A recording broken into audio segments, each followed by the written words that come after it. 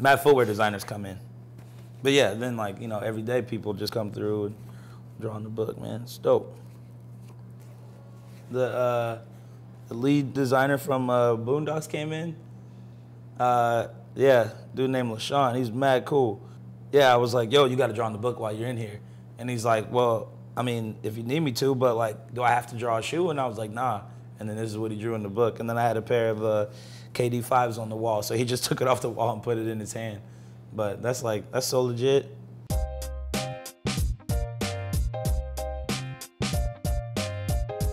My name is Ian Williams, uh, the owner of Deadstock Coffee. I'm from Newport News, Virginia. Moved to Oregon when I was 10. Been here ever since, man. Shout out to Portland. Shout out to the Burbs.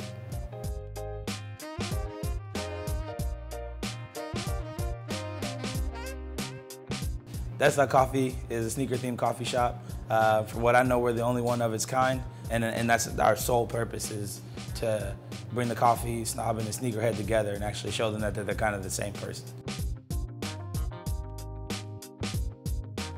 Here in Portland, we are the, the sneaker mecca. We have all the all the big brands, Nike, Adidas, Under Armour just opened up a big office down the street. We're also right next to Pensole Academy, the only sneaker design school in the world. There's no there's no better place to have something like this than in Portland because this is actually where all the all the crazy stuff is created is right here in this city, down the street, around the corner.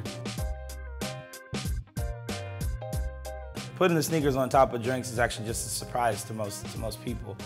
It's definitely become one of the most iconic things that we do around here. Uh, we really we do it for the customer. We really do it for ourselves, and we do it as an opportunity for people who know nothing about shoes to actually engage and, and get it and maybe see a little bit.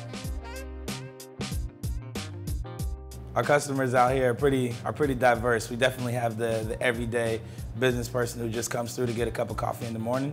But at the same time, we really cater to the sneakerhead and that person who's really either seeking some information or who just wants to be around like-minded people. Within the shop, we a lot of times have customers that get to know each other.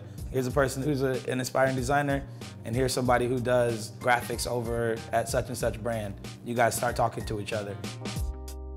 Our employees in the shop are actually here for a reason. I'm looking for people who are looking to get into the industry, the footwear industry or music or whatever. We've actually had a couple interns that have been in the shop actually working corporate now, uh, which is pretty dope.